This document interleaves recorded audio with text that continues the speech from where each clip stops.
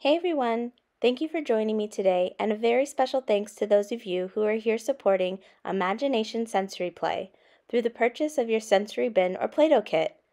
I borrowed this book from my little one to pair perfectly with your Land of the Dinosaurs kit.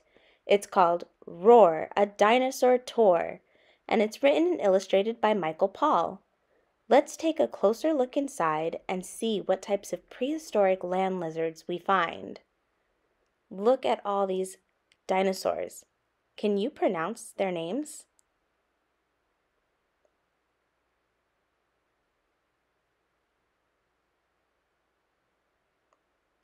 Millions of years ago, dinosaurs walked the earth, like the Kentrosaurus. There were many kinds of dinosaurs, like the Allosaurus, Styracosaurus, Laelianosaurus, and Stegosaurus. There were little dinosaurs, like the Compsognathus, big dinosaurs, like the Tyrannosaurus rex, and enormous dinosaurs, like the Supersaurus.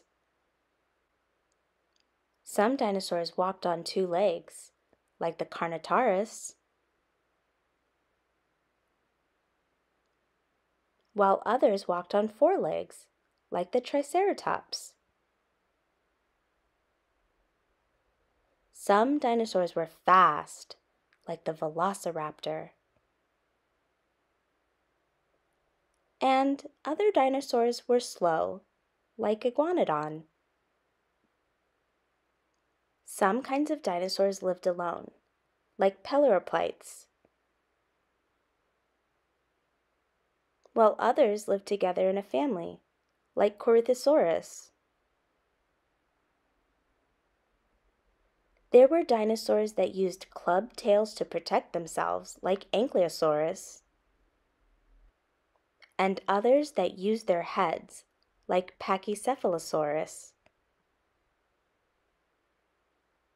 Some dinosaurs shook the ground when they walked, like Plateosaurus, while other dinosaurs shattered the silence with their loud roars, like Giganotosaurus.